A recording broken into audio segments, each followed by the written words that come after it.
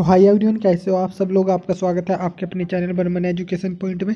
तो दोस्तों, आज करने वाले चौधरी चरण सिंह यूनिवर्सिटी से जुड़ी जितनी भी न्यूज़ है, सारी कवर तो चलिए दोस्तों, करते हैं वीडियो शुरू। लेकिन इससे पहले आपसे छोटी सी रिक्वेस्ट है, यदि आप हमारे चैनल और पहली बार आए हैं तो चैनल को सब्सक्राइब ज़रूर करके जाना। और हाँ वीडियो पसंद आए तो लाइक भी कर देना, क्योंकि इस चैनल पर जितनी भी सीसीएस की यूनिवर्सिटी की जो मेन न्यूज़ होती है, वो दे दी जाती है टाइम पर। तो चलिए दोस्तों, करते हैं वीडियो शुरू। दोस्तों, वीडियो को लास्ट तक देखना, कुछ मज़ेदार भी है बाद में।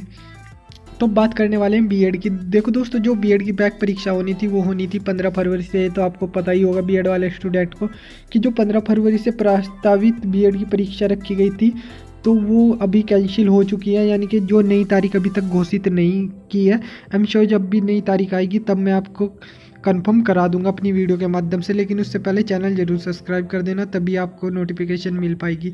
तो चलिए दोस्तों, ये थी मतलब बीएड की परीक्षा स्थगित हो चुकी है, जो पंद्रह फरवरी से होनी थी बैक पेपर की। तो चलिए दोस्तों, ये न्यूज़ समाप्त हुई, अब बात करते हैं एलएलएम की। दोस्तों एलएलएम की जो दूसरी मेरिट लिस्ट है, वो बुधवार को जारी हो जाएगी। यानी कि अगर बात करनी चाहूँ कि ग्यारह फरवरी तक कॉलेज में ऑफ़र लेटर जमा किए जाएँगे और इसके एडमिशन 12 से स्टार्ट होकर 15 फरवरी तक होंगे। तो अभी तक अगर आपने अपने ऑफ़र लेटर डाउनलोड नहीं किया है तो अपना ऑफ़र लेटर डाउनलोड कर ले और अपने रिलेटेड जिस जोन से भी कॉलेज में आपको एडमिशन लेना है तो उसमें आप अपना ऑफ़र लेटर जमा कर सकते हैं।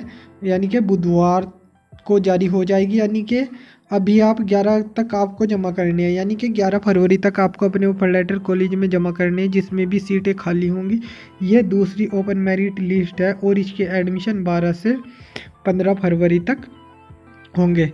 तो आई एम श्योर आप समझ गए होंगे तो जाइए अपने ऑफ़र लेटर डाउनलोड करके कॉलेज में जमा कर दिए।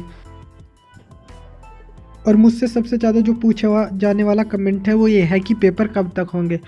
तो दोस्तों, मैं आपको बता दूँ कि अभी तो एग्ज़ाम फॉर्म भी नहीं भरे गए हैं। इससे पहले तो क्वेश्चन ये उठता है कि एग्ज़ाम फॉर्म कब भरे जाएँगे।